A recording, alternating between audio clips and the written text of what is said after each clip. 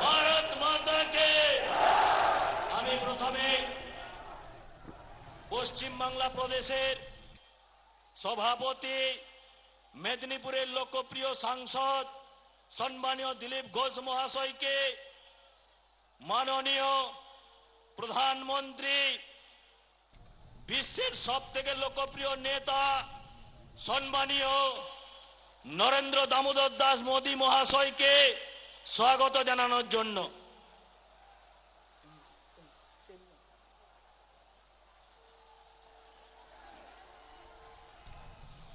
সবাই আমরা তালি দিয়ে স্বাগত জানাব ভারত মাতাকে। ভারত মাতাকে। এরপরে আমি স্বাগত ভাষণ দেওয়ার জন্য প্রদেশ সভাপতি দিলীপ ঘোষ মহাশয়কে অনুরোধ জানাচ্ছি।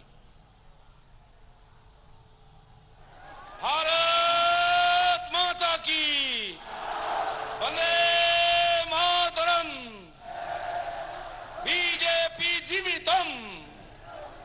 नरेंद्र मोदी जिंदाबाद जेपी नड्डा जिंदाबाद জয় শ্রীরাম বন্ধুগণ আমাদের সবার গর্ব আমাদের প্রেরণার কেন্দ্র বিশ্বের জনপ্রিয়তম নেতা ভারতের প্রধানমন্ত্রী আজ আমাদের মেদিনীপুরের এই পবিত্র মাটিতে উপস্থিত হয়েছেন সেই জেলার একজন অতি সাধারণ সন্তান হিসাবে আমি জেলার কোটি কোটি লোকের তরফ থেকে ওনাকে অভিনন্দন, স্বাগত জানাচ্ছি এবং আপনাদেরকে সঙ্গে নিয়ে আমি সংকল্প করছি, উনি যে নূতন ভারত তৈরি করছেন, সেই নূতন ভারতের সংযোজন হিসাবে সোনার বাংলা গড়ার জন্য আগামী নির্বাচনে পশ্চিম বাংলায় বিজেপি সরকার গড়ে তার হাতে আমরা উপঢৌকন দেবো। রাজি তো?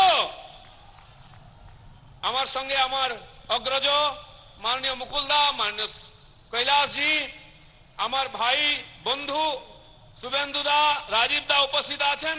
সম্মাননীয় মন্ত্রীগণ, মাননীয় পেট্রোলিয়াম মন্ত্রী, দেবনজি, আমাদের দিদি, দেবশ্রীদি, সহসভা নেত্রী ভারতীদি আমার সমস্ত সহকর্মীগণ রাহুলদার মতো সিনিয়র লিডার সঞ্জয়জি জ্যোতির্ময় দা, আমার জেলা সভাপতিগণ ডক্টর সুভাষ সরকার, সবাইকে আমি স্বাগত এবং মাননীয় সম্বিতজি এসছেন।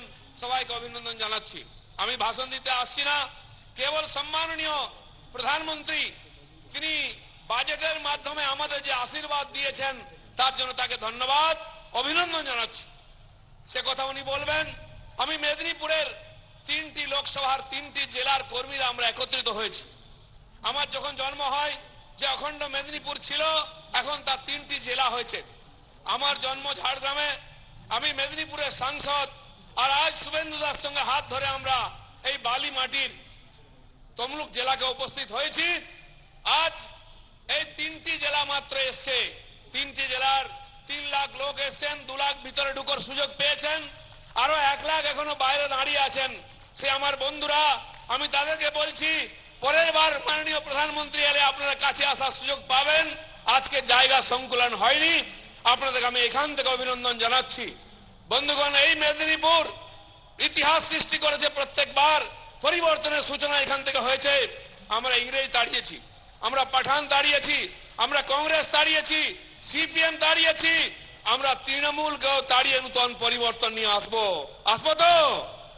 তাই ডক্টর শ্যামা প্রসাদ মুখার্জি যখন মেদিনীপুর লোকের দুঃখের সময় এসেছিলেন, ইংরেজরা এখন খাদ্য আন্দোলনে গুলি চালিয়েছিল, তিনি এসেছিলেন, তাই আমাদের পূর্বপুরুষরা ভারতবর্ষের প্রথম নির্বাচনে এখান থেকে ছজন এমএলএ জনসংঘকে দিয়েছিলেন। আমরা কৃতজ্ঞতা ভুলে যাইনি, আজকেও তৈরি আছে। মেদিনীপুরের সমস্ত এমএলএ আমরা আগামী নির্বাচনে বিজেপিকে দেবো। রাজি তো? বন্ধুগণ, আমাদের দিদিমণি, যাকে দশ বছর আগে বাংলার লোকেরা জিতিয়েছিল, তিনি বাংলাকে গড়ে ঠিক বলেছিলেন। কিন্তু দুর্ভাগ্য, আজ জঙ্গল মহল থেকে উত্তরবঙ্গের ডুয়ার্স পর্যন্ত সারা পশ্চিমবঙ্গকে তিনি বৃদ্ধাবাসে পরিণত করেছেন। লক্ষ লক্ষ যুবক পশ্চিমবাংলা ছেড়ে কেবল পেটের জন্য, কেবল কর্মসংস্থানের জন্য, সেই পশ্চিম ভারতে, যেখানে আমাদের প্রধানমন্ত্রী একসময় মুখ্যমন্ত্রী ছিলেন, সেই গুজরাটে চলে যাচ্ছে। হরিয়ানায় চলে যাচ্ছে, কর্ণাটক, মহারাষ্ট্র, মধ্যপ্রদেশে চলে যাচ্ছে। আমরা এই যুবকদের যে স্রোত, তাকে আটকাতে চাই। তাদেরকে বাংলায় আটকে কাজ দিয়ে সোনার বাংলা গড়তে চাই। আর নূতন ভারতের মাথা উঁচু করে দাঁড়াতে চাই। তাই বন্ধুগণ, আমি এইটুকু বলব, মাননীয় প্রধানমন্ত্রীকে আমরা ডাকিনি। আমরা সাহস করে এখনও তার সভা নিতে পারিনি, কিন্তু তিনি নিজের থেকে আমাদের আশীর্বাদ দিতে এসছেন। সেজন্য তাকে আরেকবার নমন করে আমার বক্তব্য শেষ করছি। ধন্যবাদ, ভারত মাতা কি জয়। ধন্যবাদ, মাননীয় রাজ্য সভাপতি মহাশয়কে। এরপরে আপনারা এতক্ষণ ধরে ধৈর্য ধরে বসে আছেন যার ভাষণ শোনার জন্য নূতন ভারত, যিনি গড়ার লক্ষ্য নিয়ে নেমে পড়েছেন এবং সোনার বাংলা যিনি গড়বেন, সোনার বাংলা গড়ার কারিগর বিশ্বজগতের সব থেকে জনপ্রিয় নেতা, ভারত সরকারের যশস্বী প্রধানমন্ত্রী সম্মানীয় নরেন্দ্র দামোদর দাস মোদী, তাকে করতালি দিয়ে সবাই উঠে দাঁড়িয়ে আমরা স্বাগত জানাব এবং তার ভাষণ শুনব ভারত মাতাকে। ভারত মাতাকে। জয় শ্রীরাম।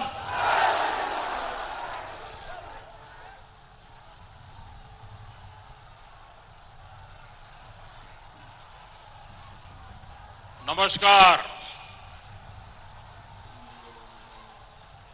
भारत माता की। भारत माता की। आज हम माँ गंगा के एक छोर पर है। लेकिन जो माँ गंगा का उद्गम स्थल है, वो राज्य उत्तराखंड इस समय आपदा का सामना कर रहा है। एक ग्लेशियर टूटने की वजह से वहाँ नदी का जलस्तर बढ़ गया। नुकसान की खबरें धीरे धीरे आ रही हैं। मैं उत्तराखंड के मुख्यमंत्री श्री त्रिवेंद्र रावत जी भारत सरकार के गृह मंत्री श्री, एनडीआरएफ के अफसर, उन सबसे निरंतर संपर्क में हूँ। वहाँ पर राहत और बचाव का कार्य पुरजोश करने का प्रयास चल रहा है। लोगों को सुरक्षित स्थानों पर ले जाया जा रहा है। मेडिकल सुविधाओं में कोई कमी न हो, इस पर ज़ोर दिया जा रहा है। वहाँ दो एक दिन पहले ही काफ़ी बर्फबारी भी हुई थी। मौसम काफ़ी ठंडा है। लोगों की परेशानी कम से कम करने के लिए सरकार पूरा प्रयास कर रही है। उत्तराखंड में ऐसे परिवार मुश्किल से मिलते हैं जिनका कोई न कोई सदस्य फौज में न हो। यानी वहाँ के लोगों का हौसला किसी भी आपदा को मात दे सकता है। उत्तराखंड के साहसी लोग के लिए मैं प्रार्थना कर रहा हूं बंगाल प्रार्थना कर रहा है देश प्रार्थना कर रहा है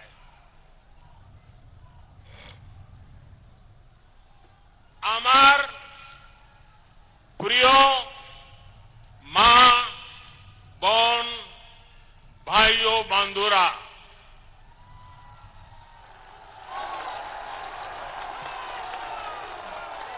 মেদিনীপুরের এই পবিত্র মাটিতে আসতে পেরে নিজেকে ধন্য মনে করছি।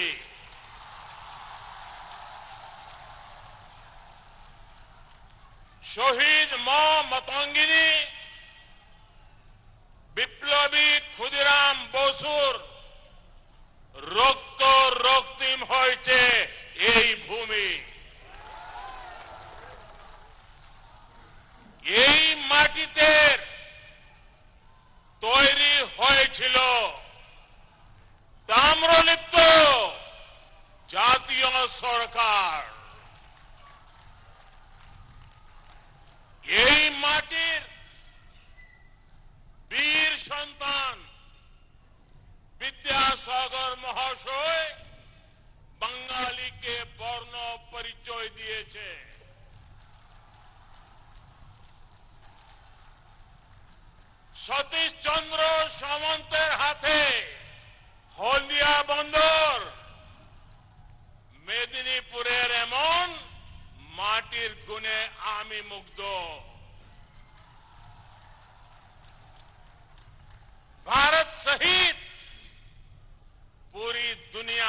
दिशा दिखाने वाले महान मनुष्यों, संतों, वीरों की पावन धरा बंगाल को मैं सर झुका करके नमन करता हूँ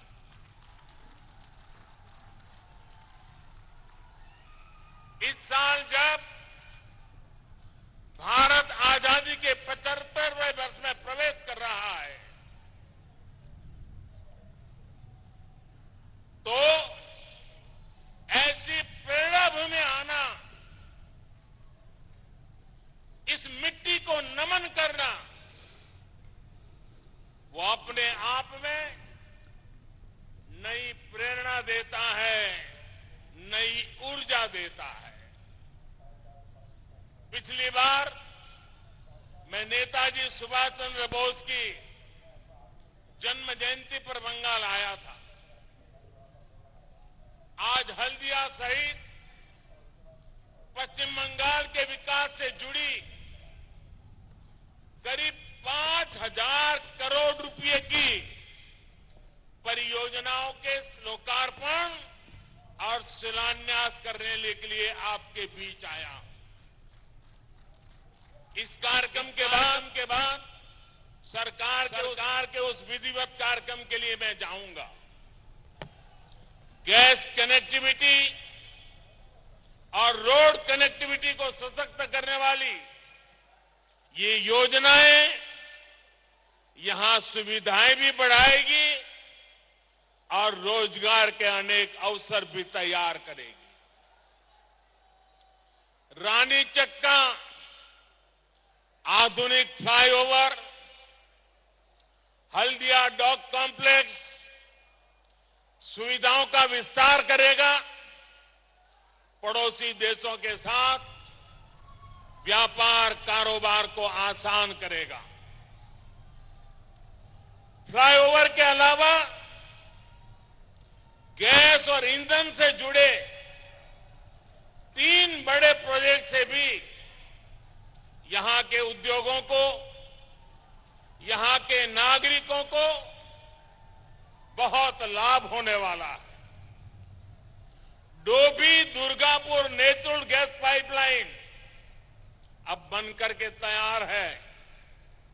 इससे पश्चिम बंगाल के अनेक जिलों में पीएनजी और सीएनजी की सुविधाएँ पहुँचाने में मदद मिलेगी। इससे दुर्गापुर फर्टिलाइज़र कारखाने के लिए भी पर्याप्त गैस मिल पाएगी। इसी तरह एलपीजी इंपोर्ट टर्मिनल से पश्चिम बंगाल के अलावा पूरे पूर्वी भारत में एलपीजी गैस और आसानी से मिलेगी। भाइयों और बहनों, पश्चिम बंगाल का विकास और यहाँ आधुनिक इंफ्रास्ट्रक्चर का निर्माण, केंद्र सरकार की निरंतर प्राथमिकता रही है। कोलकाता में साढ़े आठ हज़ार करोड़ रुपए की लागत से मेट्रो प्रोजेक्ट पर तेज़ी से काम चल रहा है। इस बार के बजट में केंद्र सरकार ने इस अभियान को और विस्तार दिया है। केंद्र सरकार इस साल भी हज़ारों करोड़ रुपए पश्चिम बंगाल में नेशनल हाईवे बनाने में लगाने वाली है। इसके तहत कोलकाता सिलीगुड़ी रोड को भी अपग्रेड किया जाएगा। पश्चिम बंगाल को पंजाब से जोड़ने वाली पूर्वी डेडिकेटेड फ्रेट कॉरिडोर बहुत जल्द बनकर पूरा होने वाला। इसके अलावा खड़गपुर से विजयवाड़ा के लिए नए फ्रेट कॉरिडोर की भी घोषणा की गई है। पश्चिम बंगाल में रेलवे पर भी पिछले साल की तुलना में 25 प्रतिशत से ज़्यादा खर्च किया जाएगा। यही नहीं, पूर्व मेदिनीपुर में पेटुआ घाट फिशिंग हार्बर को एक हब के रूप में विकसित किया जाएगा। इससे हमारे मछुआरे साथियों को बहुत लाभ होगा। साथियों, इस साल के बजट में चाय बगानों से जुड़े लाखों साथियों पर भी विशेष ध्यान दिया गया है। इनके लिए एक हज़ार करोड़ रुपए के पैकेज की व्यवस्था की गई है।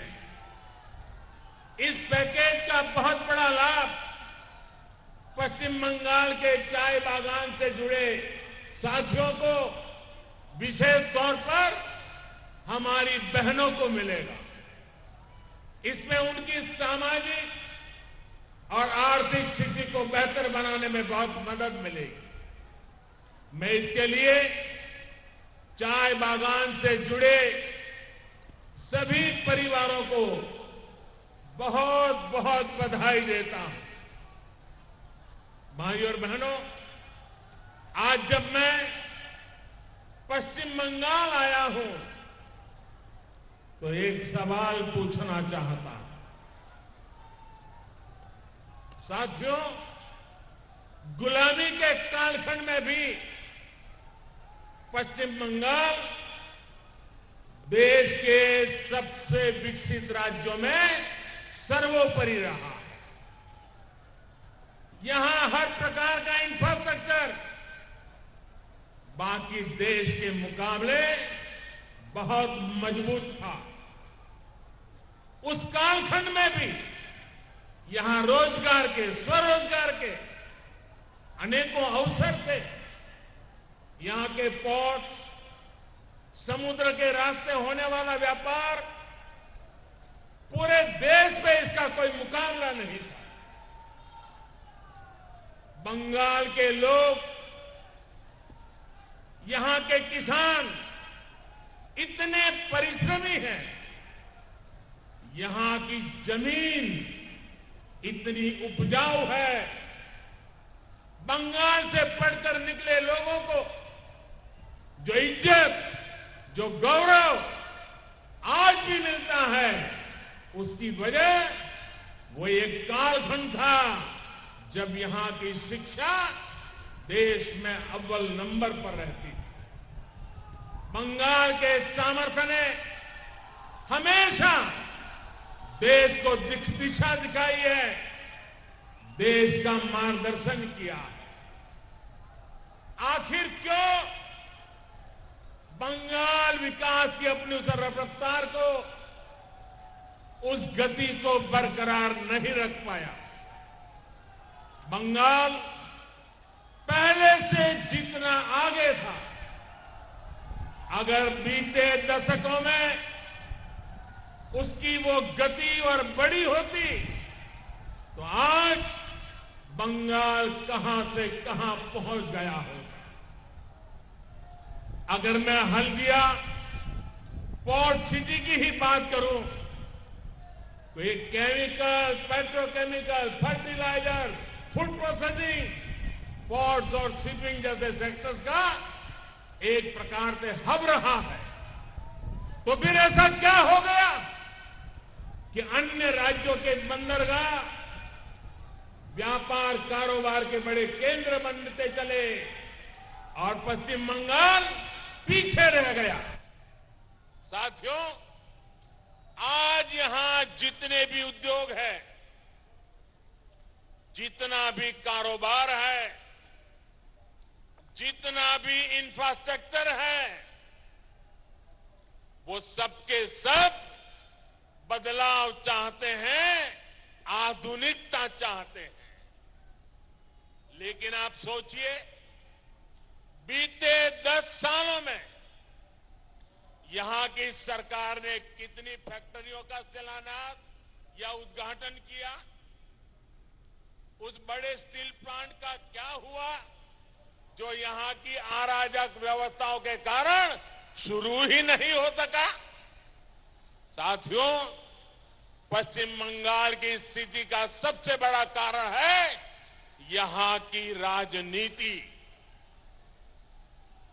आज़ादी के बाद जब पश्चिम बंगाल के विकास को नई दिशा देने की ज़रूरत थी, तब यहाँ विकास वाली राजनीति नहीं हो पाई। पहले कांग्रेस ने शासन किया तो भ्रष्टाचार का बोलबाला रहा। फिर लेफ़्ट का शासन लंबे समय तक रहा। उन्होंने भ्रष्टाचार के साथ साथ अत्याचार को जोड़ दिया। और दोनों की तरफ़ आगे बढ़े और विकास पर उन्होंने ब्रेक लगा दिया। 2011 में पूरे देश की नज़रें बंगाल पर थी। लेफ़्ट की हिंसा और भ्रष्टाचार का जर्जर किला डहने की कगार पर था। उस समय ममता दीदी ने बंगाल से परिवर्तन का वादा किया। उनके इस वादे ने पूरे देश का ध्यान खींचा। लोगों ने भरोसा किया। बंगाल ममता की आस लेके जी रहा था। लेकिन दस साल उसे निर्ममता मिली निर्ममता मिली। ममता की अपेक्षा थी, निर्ममता का शिकार हो गया।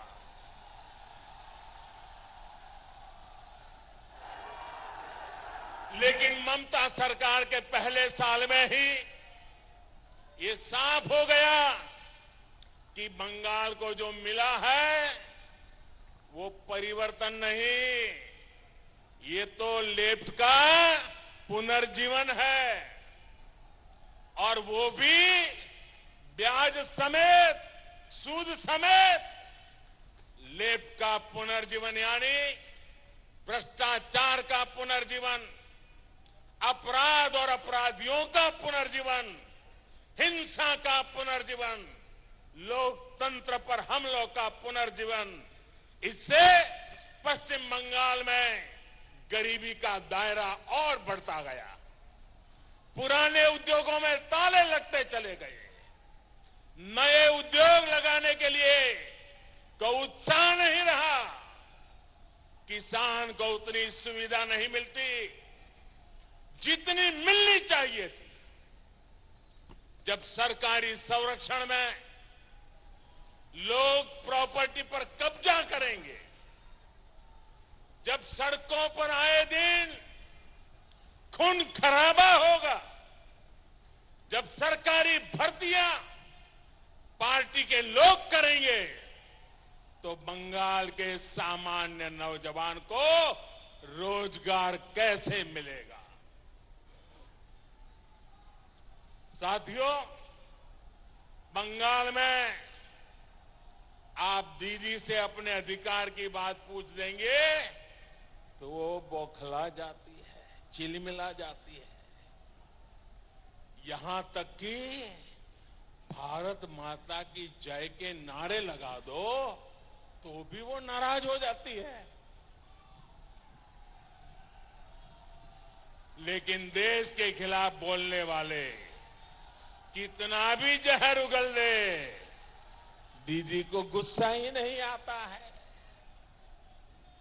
अभी आपने न्यूज़ में देखा होगा, इन दिनों भारत को बदनाम करने के लिए कैसे कैसे अंतर्राष्ट्रीय षड्यंत्र सामने आ रहे हैं। कैसी कैसी साजिशें खुल रही है। अब तो इस बात की प्लानिंग की जा रही है कि कैसे भारत को बदनाम करना है। कैसे भारत की छवि को बिगाड़ना है? साजिश करने वालों की बेचैनी इतनी ज़्यादा है कि भारत को बदनाम करने के लिए वो चाय से जुड़ी भारत की पहचान पर हमला करने की बात कर रहे हैं। टी वर्कर्स की कड़ी मेहनत पर हमला करने का षड्यंत्र किया जा रहा है। योग जैसी योग जैसी भारत की विरासत, जिसे महर्षि अरविंदो और स्वामी विवेकानंद जैसे अनगिनत महापुरुषों ने, ऋषियों, मुनियों ने निस्वार्थ भाव से दुनिया तक पहुँचाया, उस योग पर हमला किया जा रहा है। लेकिन क्या आपने भारत के खिलाफ इन षड्यंत्रों पर, इन साजिशों पर दीदी के मुँह से एक भी वाक्य सुना है क्या?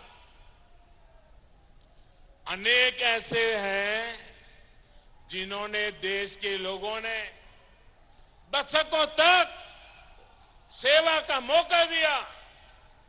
वो भी या तो चुप है या इन षड्यंत्रों का समर्थन कर रहे हैं। लेकिन इन षड्यंत्रकारियों से मैं कहना चाहता हूँ, देश इन षड्यंत्रों का पूरी ताकत से जवाब देगा। साथियों माँ माटी मानुष की बातें करने वालों में आज भारत माता के लिए आवाज़ बुलंद करने का साहस नहीं है। साहस इसलिए नहीं है क्योंकि इतने सालों में इन लोगों ने पॉलिटिक्स को क्रिमिनलाइज किया है। करप्शन को इंस्टीट्यूशनलाइज किया है और प्रशासन और पुलिस को पॉलिटिसाइज किया है। आपको याद होगा, अभी कुछ दिन पहले ही मारी जापी नरसंहार की दुखद बरसी थी। देश इस घटना को गरीबों और दलितों के इस नरसंहार को कभी नहीं भूलेगा। लेकिन बंगाल तृणमूल से ये पूछना चाहता है, जिन्होंने नंदीग्राम में गोलियाँ चलाई थी, जिन्होंने गरीबों का खून बहाया, आप उन्हीं को पार्टी में क्यों शामिल कर रही है? बंगाल पूछना चाहता है, क्या बंगाल का गरीब क्या केवल वोट लेने के लिए ही है? भाइयों बहनों, ये वो सरकार है जो आपदा में भी, मुसीबत के समय भी भ्रष्टाचार के रास्ते खोजती रहती है। इससे बड़ा अपराध और क्या हो सकता है? इतना बड़ा साइक्लोन आया, चक्रवात आया इतना कुछ तबाह हो गया लोगों की मदद के लिए केंद्र सरकार ने जो पैसे भेजे, उसका इन लोगों ने क्या किया? ये पश्चिम बंगाल के लोग भली भांति जानते हैं। हालात ये थे कि कोर्ट तक को इस पर सख्त टिप्पणी करनी पड़ी। आप कोरोना के दौरान आए, संकट को भी याद करिए। पूरी दुनिया में ऐसा कोई नहीं था जो इससे प्रभावित नहीं हुआ हो, जिसकी रोजी रोटी पर इसका असर न पड़ा हो। केंद्र सरकार ने तुरंत पश्चिम बंगाल के लाखों परिवारों के लिए मुफ़्त राशन की व्यवस्था की, ताकि बंगाल में मेरे कोई भी गरीब परिवार में रात को चूल्हा न जले, ऐसा दिन जाना नहीं चाहिए। लेकिन केंद्र सरकार के भेजे राशन को भी यहाँ की सरकार सही तरीके से गरीबों तक पहुँचाने में असफल रही। भाई और बहनों, ये तो शुक्र है कि केंद्र सरकार ने गरीबों के, किसानों के, हमारी बहनों के पश्चिम बंगाल में लगभग चार करोड़ जनधन बैंक खाते खोले थे। तभी कोरोना की उस मुश्किल घड़ी में यहाँ के गरीब बहनों के जनधन बैंक खाते में सीधे रुपये जमा किए जा सके। केंद्र सरकार ने उज्ज्वला योजना के तहत यहाँ की 90 लाख से अधिक बहनों को मुफ़्त एलपीजी गैस कनेक्शन भी दिया है। गरीब के घर में गैस कनेक्शन था, तभी केंद्र सरकार उन्हें कोरोना के समय मुफ़्त गैस सिलेंडर देने में सफल हुआ। साथियों, मुझे बहुत पीड़ा है कि कोरोना के इस मुश्किल समय में पश्चिम बंगाल के लाखों किसानों को सैकड़ों करोड़ रुपए नहीं मिल पाए। कोरोना के दौरान देश भर के किसानों के बैंक खाते में पीएम सम्मान निधि के तहत हज़ारों करोड़ रुपए जमा किए गए। अभी तक इस योजना के तहत देश के 10 करोड़ से अधिक छोटे किसान परिवारों के बैंक खाते में एक लाख पंद्रह हज़ार करोड़ रुपए जमा किए जा चुके हैं। इसमें मुझे दुख के साथ कहना है, इसमें पश्चिम बंगाल के भी लाखों किसान परिवार हो सकते थे, लेकिन यहाँ के एक भी किसान को ये लाभ नहीं मिल पाया, क्योंकि यहाँ की सरकार ने इस योजना से जुड़ने से इनकार कर दिया। सोचिए, पश्चिम बंगाल के किसानों के साथ कितना बड़ा अन्याय किया गया। अब जब पश्चिम बंगाल के किसानों ने ममता दीदी को सबक सिखाने का मन बना लिया है तो सिर्फ़ कहने के लिए, दिखावे के लिए, कुछ दिन पहले राज्य सरकार ने बेमन से इस योजना से जुड़ने की सहमति वाली चिट्ठी भेज दी है। लेकिन साथियों, किसानों के पास सीधे पैसे जाएँ इससे यहाँ की सरकार को कितनी दिक्कत है, ये सिर्फ़ एक आंकड़े से समझ आता है।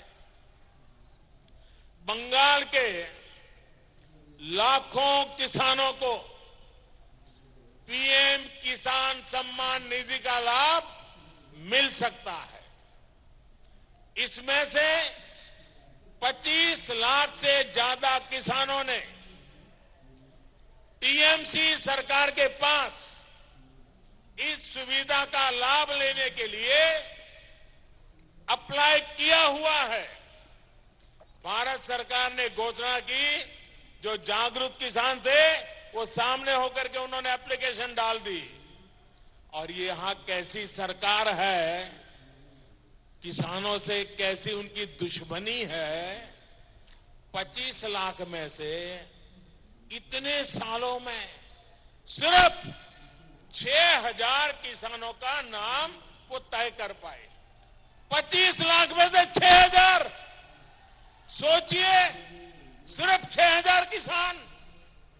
लेकिन आप ये जानकर और हैरान हो जाएँगे कि केंद्र सरकार अब भी इन 6000 किसानों को उनको भी सीधे पैसे ट्रांसफ़र नहीं कर पा रही है।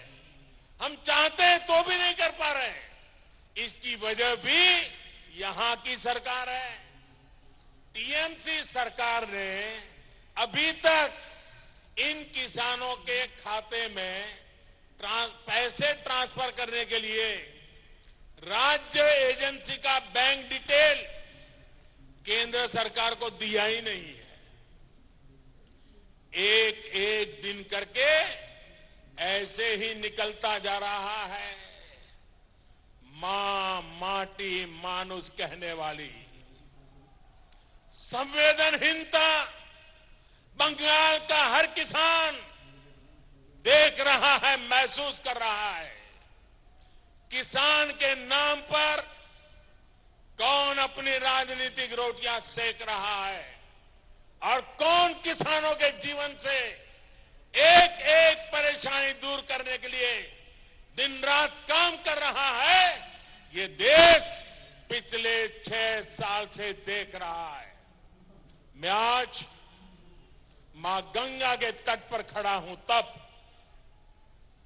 मैं बंगाल के मेरे किसान भाइयों को विश्वास देने आया हूँ। इस चुनाव के बाद जनता पार्टी की सरकार बनाना आपने तय कर लिया है।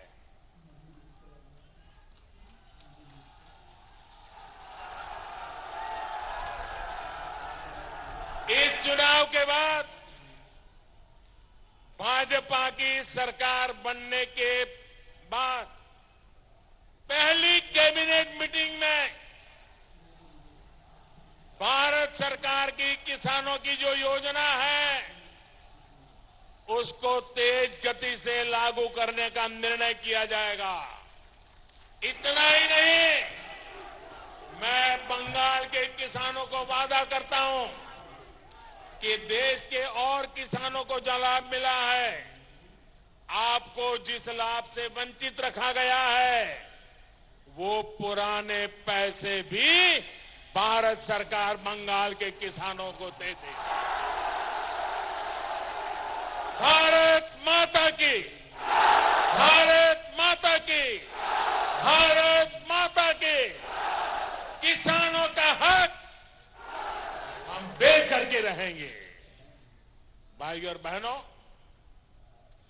ममता दीदी की सरकार गरीबों की चिंता से कितना दूर है, इसका एक और उदाहरण केंद्र सरकार की आयुष्मान भारत योजना है। आयुष्मान भारत योजना के तहत पूरे देश के अस्पतालों में पाँच लाख रुपए तक के मुफ़्त इलाज की सुविधा से भी पश्चिम बंगाल का गरीब मरीज़ वंचित है।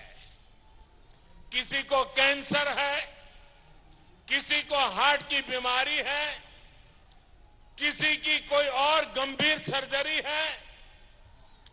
बंगाल के लोग जो काम के लिए बाहर जाते हैं, उन्हें भी इस योजना का बहुत बड़ा लाभ मिलता।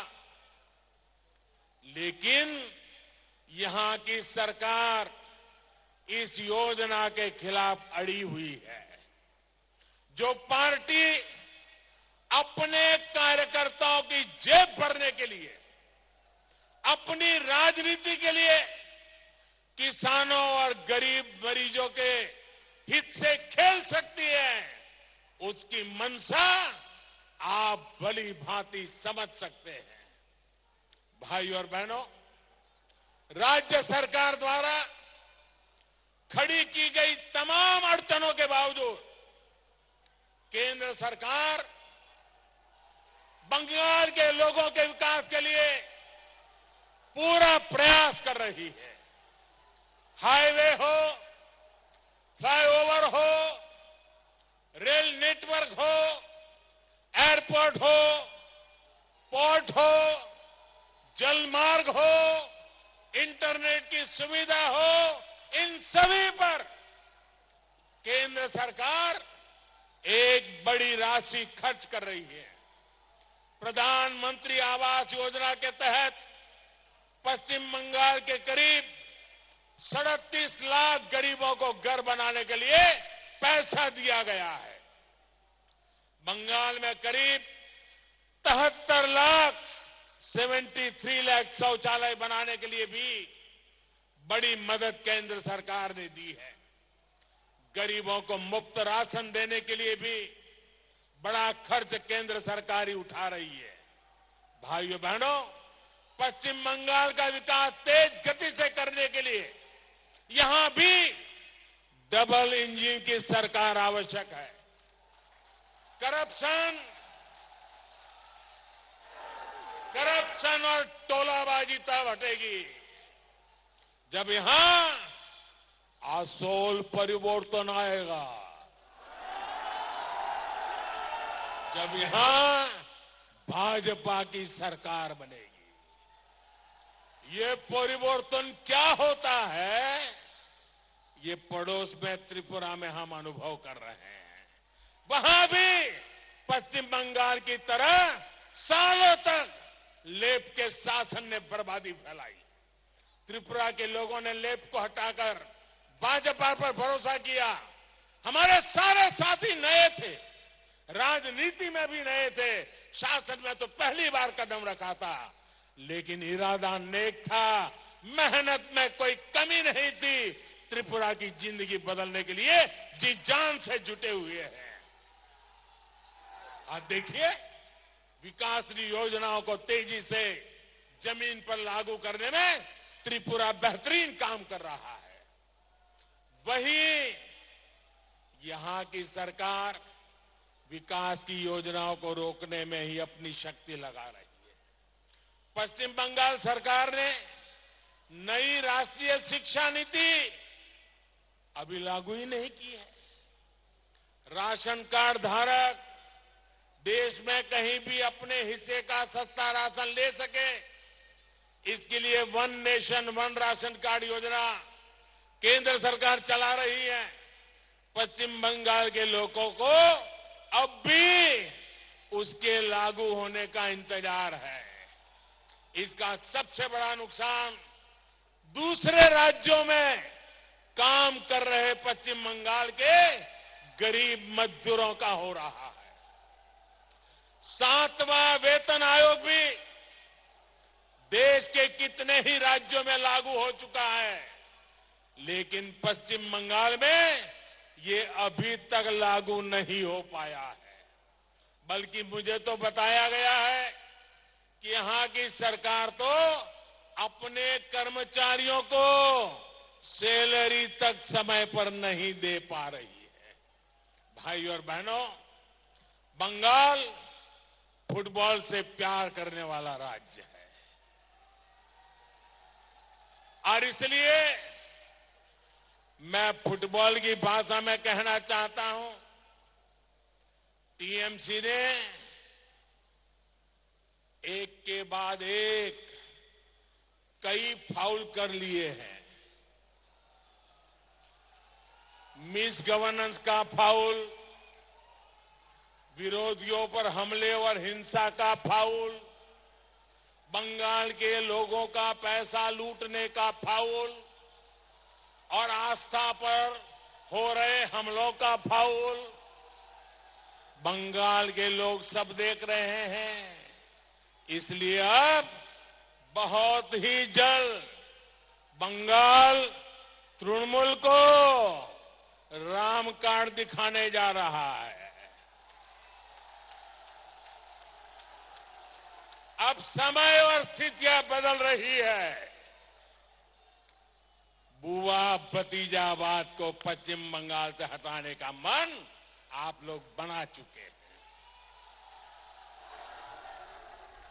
टीएमसी के वो सभी साथी जो बुआ भतीजावाद से परेशान हैं, वो भी बंगाल की सेवा करने के लिए तड़प रहे हैं।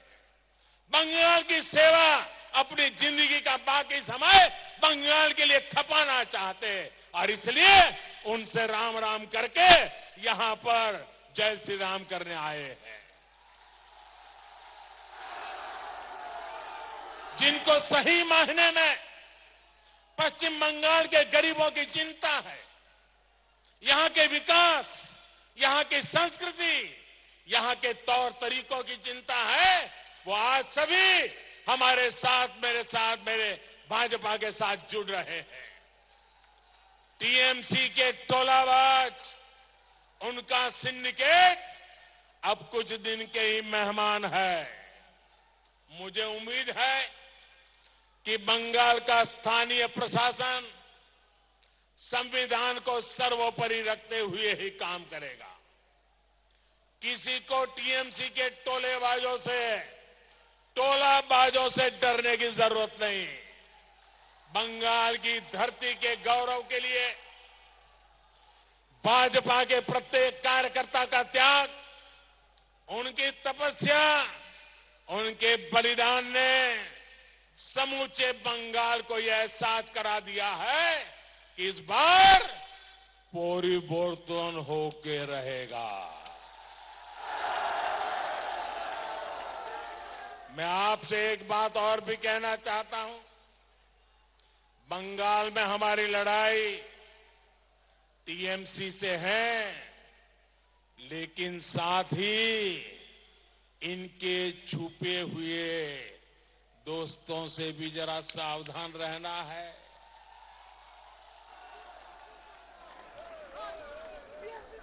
आप लोगों ने कई बार सुना होगा, खेल के अंदर मैच फिक्सिंग होता है, लेकिन अब लेफ़्ट कांग्रेस और तृणमूल मिलकर राजनीति में पर्दे के पीछे मैच फिक्सिंग कर रहे हैं। दिल्ली में लेफ़्ट कांग्रेस और तृणमूल, ये तीनों एक साथ बंद कमरों में मिलते हैं, बैठते हैं, एक साथ मिलकर रणनीति बनाते हैं।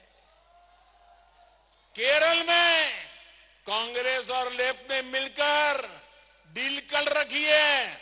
पाँच साल तुम लूटो, पाँच साल हम लूटेंगे। लेकिन बंगाल में लेफ़्ट और तृणमूल एक दूसरे से लड़ने का सिर्फ़ दिखावा करते हैं। इसलिए लेफ़्ट और कांग्रेस को वोट देने का मतलब है, ये पर्दे के पीछे जो खेल चल रहा है, उस खेल का शिकार हो जाना। हमें सजग रहना है और दूसरों को भी सजग करना है।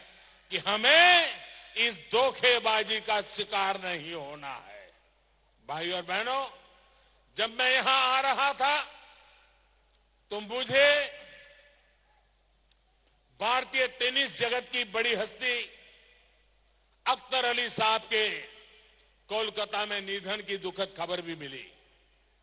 मेरी संवेदनाएँ उनके परिवार, उनके प्रशंसकों के साथ है।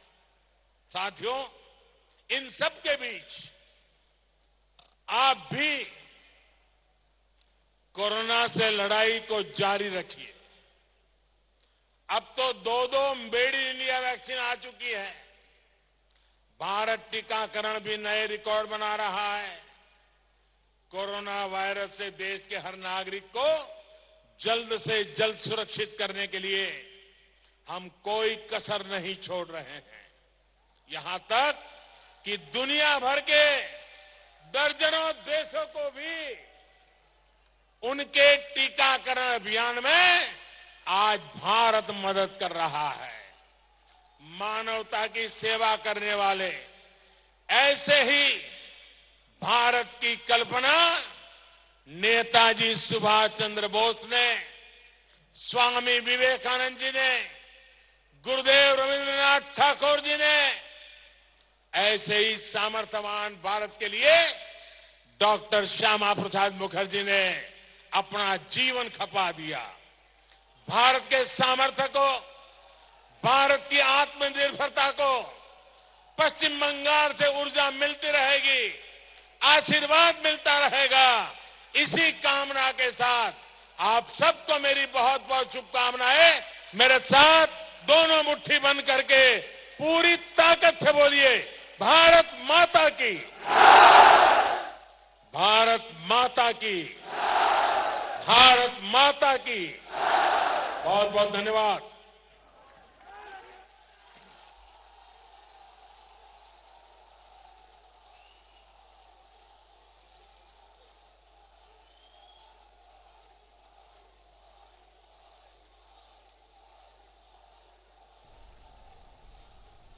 धन्यवाद।